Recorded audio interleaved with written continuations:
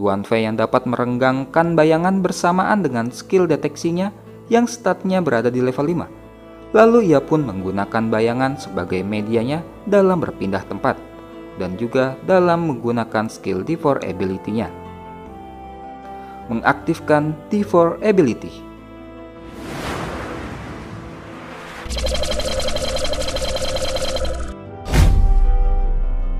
Dan dalam sekejap, sekumpulan zombie yang dilalui bayangannya Duan Fei pun langsung tewas seketika.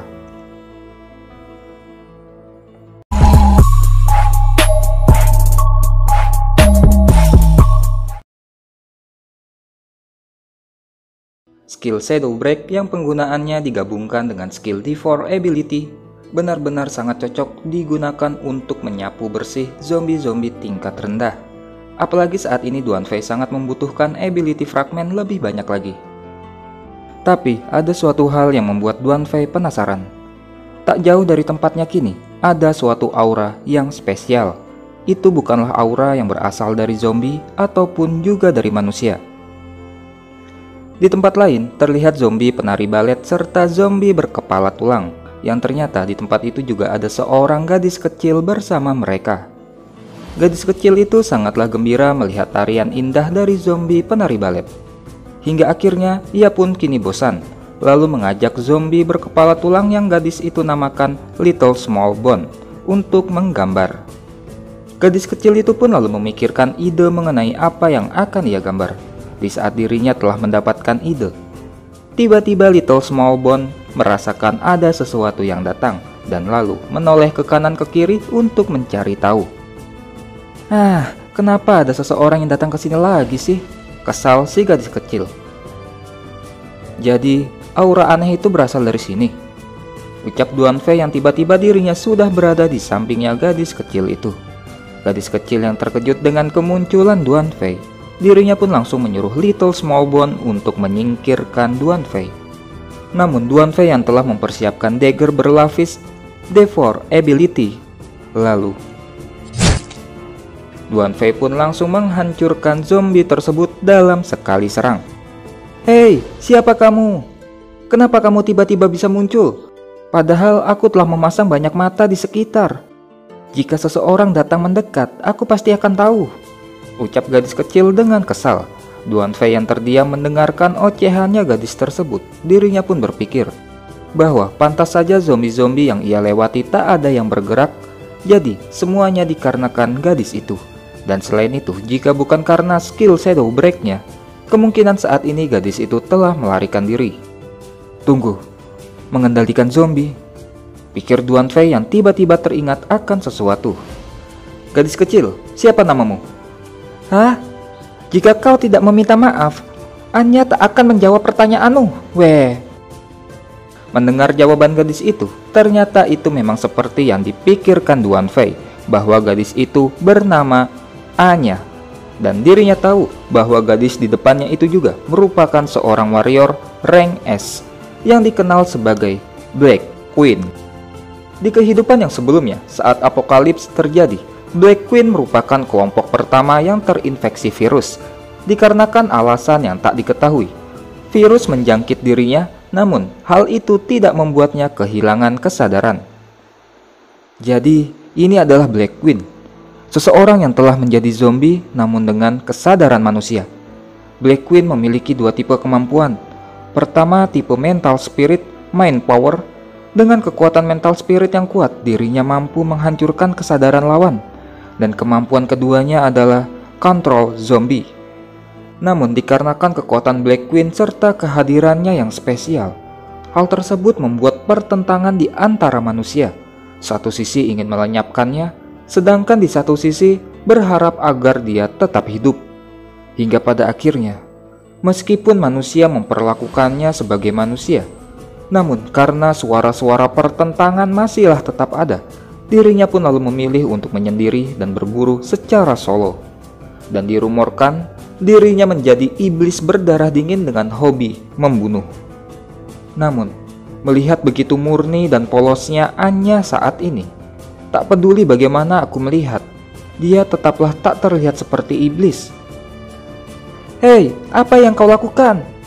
Ucap Anya memecah lamunannya Duan Fei. Ah, maaf, aku tak memiliki niat buruk.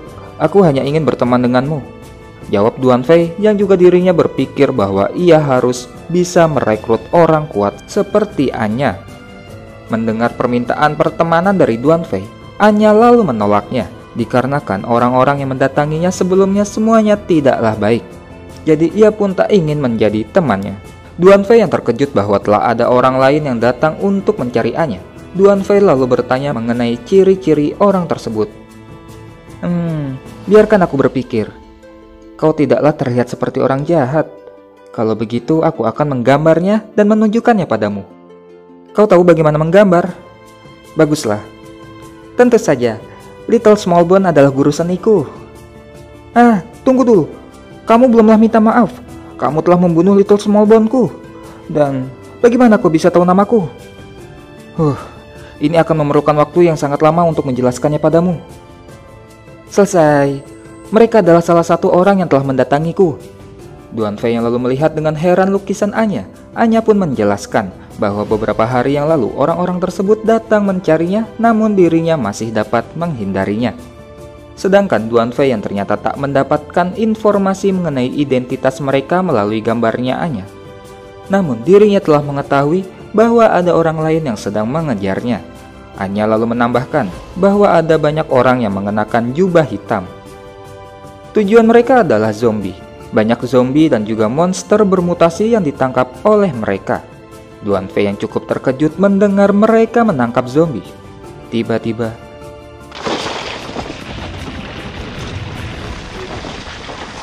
tanah di bawahnya bergetar. Sial, waktunya telah tiba. Di dekat sini ada monster bermutasi yang sangat kuat. Dia akan muncul dan keluar untuk berburu makanan di sekitar sini. Ucap Anya yang lalu. Berhati-hatilah, ucap Duan Fei sembari melompat dan mengangkat Anya. Di bawah mereka, kini sudah muncul monster bermutasi dari dalam tanah yang sudah siap untuk menerkam mereka berdua.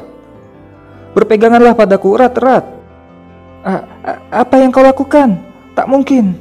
Dan Anya yang tiba-tiba dibawa melesat dengan sangat cepat. Monster bermutasi itu pun langsung hancur terbelah menjadi dua terkena serangannya Duan Fei. Sungguh kuat. Dia membunuh monster bermutasi ini dengan sangat mudah. Melihatnya dari dekat, dia terlihat bercahaya. Tiba-tiba, Duan Fei bertanya, Bukankah kau dapat mengendalikan mereka? Dan dengan gugup, Anya lalu menjawab bahwa kemampuannya saat ini belumlah cukup kuat. Duan Fei lalu menawarkan Anya untuk ikut dengannya ke tempat yang aman, dikarenakan tempatnya saat ini sudah tidak aman lagi dan Anya yang menilai Duan Fei itu berbeda dari orang-orang yang sebelumnya. Akhirnya untuk sementara waktu ia pun bersedia mengikuti Duan Fei. Singkat cerita, mereka telah sampai di dekat stadion tempat tubuh Tyron King Flower berada. Di dalam stadion, terlihat Goldie mulai mencium aroma sesuatu yang datang mendekat.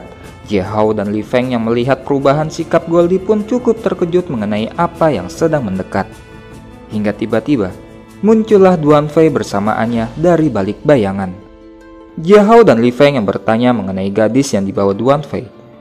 Sembari Anya yang terkejut dengan adanya banyak orang di tempat itu, Duan Fei lalu memberitahukan bahwa gadis itu ia temukan saat berpatroli. Jadi ia pun membawanya bersamanya. Duan Fei lalu menanyakan kondisi Jiahao dan Li Feng setelah menyerap sumber kehidupan. Li Feng lalu menjawab bahwa dirinya beserta Jiahao kini sudah bertambah kuat. Hanya saja, Li Feng lalu mempertanyakan kemampuan yang digunakan Duan Fei, dikarenakan itu mirip dengan miliknya. Duan Fei lalu memberitahukan bahwa itu adalah Shadow Break. Salah satu kemampuannya adalah untuk meminjam kemampuannya orang lain. Li Feng pun terlihat sangat senang mengetahui Duan Fei bisa menggunakan kemampuan miliknya dikarenakan menurutnya kemampuan itu akan lebih berguna jika Duan Fei yang memakainya. Sedangkan Jia Hao menanyakan kenapa tidak meminjam kemampuan miliknya juga. Duan Fei lalu menjawab bahwa sementara ini dirinya belum bisa meminjam kemampuan miliknya.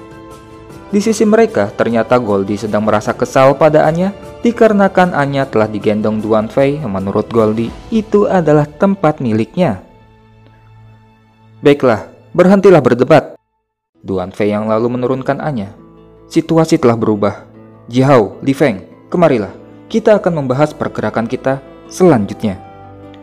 Kepada Li Feng dan Jihao, Duan Fei lalu menceritakan bahwa situasi saat ini semakin menyulitkan dikarenakan terdapat dua kekuatan yang tidak diketahui dan jika terus-terusan berdiam diri di tempat itu mungkin akan menjadi sangat berbahaya.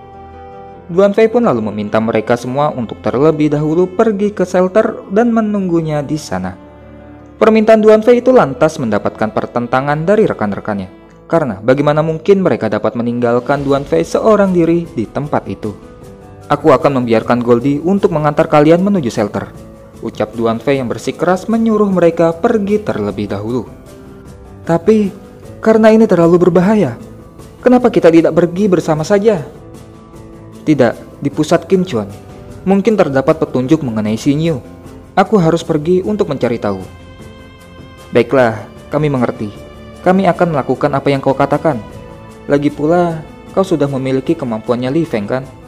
Lalu bagaimana dengan gadis itu? Apa dia tidak ikut bersama kami? Ya, dia ikut denganku. Dia itu unik, dan untuk sementara waktu, tidak cocok untuknya pergi ke shelter. Pada akhirnya, dengan menunggangi Goldie, mereka pun lalu akan beranjak pergi menuju shelter. Sebelum berangkat, Duan Fei juga memberi pesan kepada mereka untuk mencari Chow Silong atau Siake dan cukup mengatakan bahwa mereka disuruh Duan Fei untuk pergi ke shelter. Dan Goldie pun lalu melesat pergi dari tempat itu. Baiklah, ayo kita juga pergi dan pergi menuju pusat kincuan. Ajak Duan Fei yang lalu hanya melihat wajah Duan Fei bersinar-sinar lagi. Tiba-tiba, suasana di sekitar menjadi gelap. Anya yang sangat terkejut dengan apa yang terjadi. Duan Fei lalu menjelaskan bahwa mereka saat ini sedang berada di dalam bayangan. Dengan cara itu, mereka akan bisa bergerak dengan cepat dan juga tak akan ada yang dapat menemukan mereka. Dengan jalan yang mereka lalui, seharusnya mereka dapat sampai di tujuan dalam waktu 10 menit. Namun, dengan banyaknya hal tak terduga di tempat itu, Duan Fei pun juga perlu mempersiapkan dirinya terlebih dahulu. Dirinya lalu mengecek jumlah poin yang dimilikinya sejak dari mengalahkan Tyron King Flower. Dan ternyata ada 20.165 poin yang tersedia. Yang pertama adalah untuk meningkatkan strength dan agility-nya. Strength yang meningkat dari level 7 ke level 8 menggunakan 5000 poin. Sedangkan agility dari level 6 ke level 8 menggunakan 8000 poin. Lalu kemudian meningkatkan stat prop.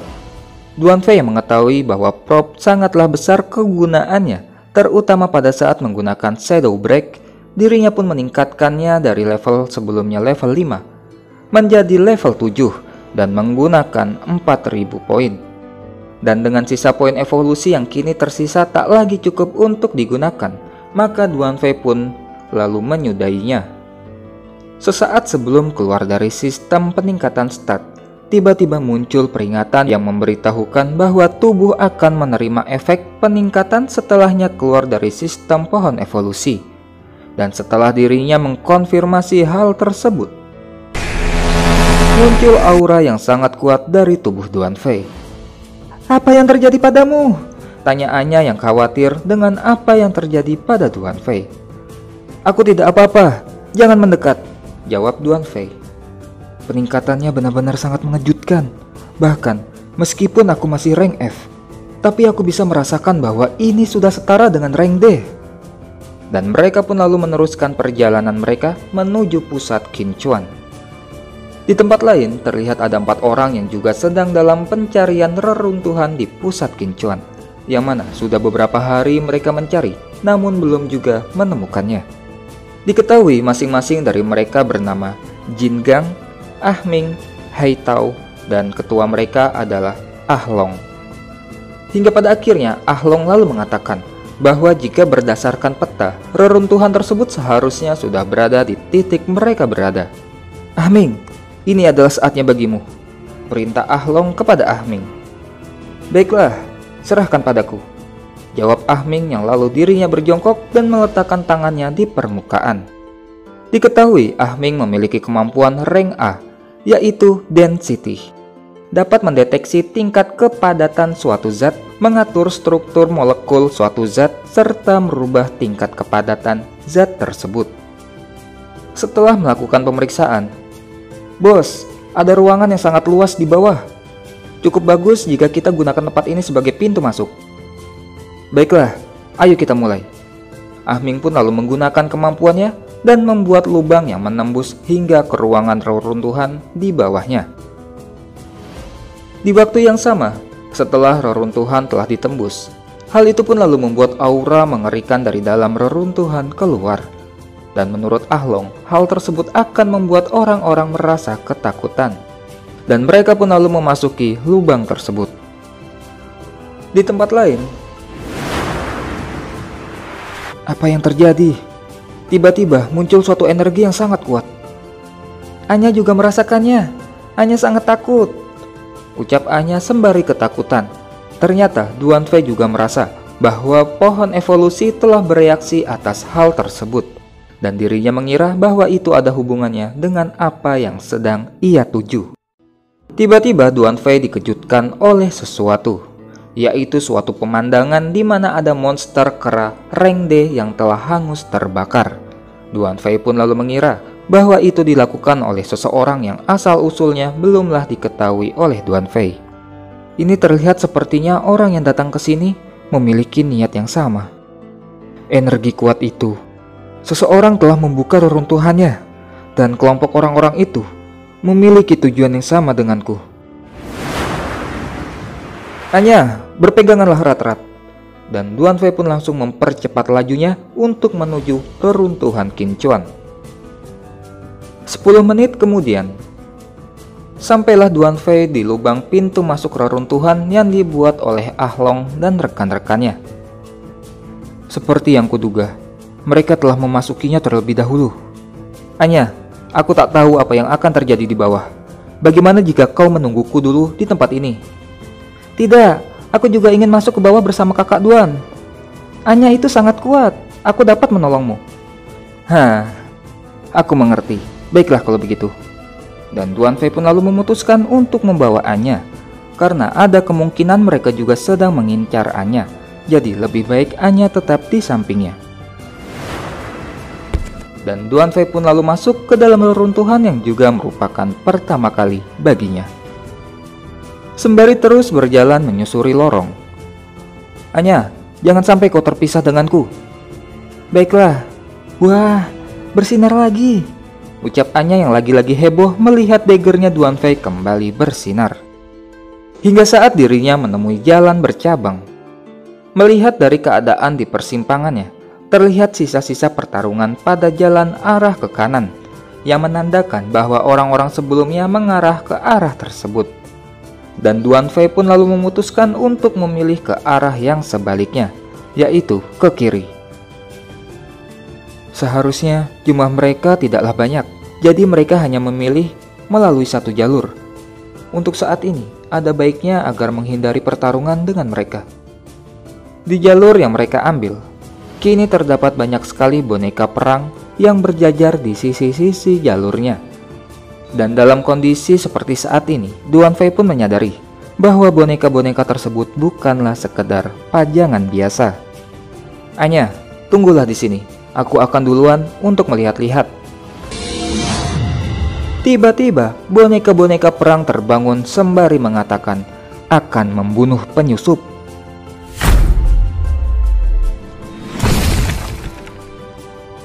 Mengaktifkan Shadow Break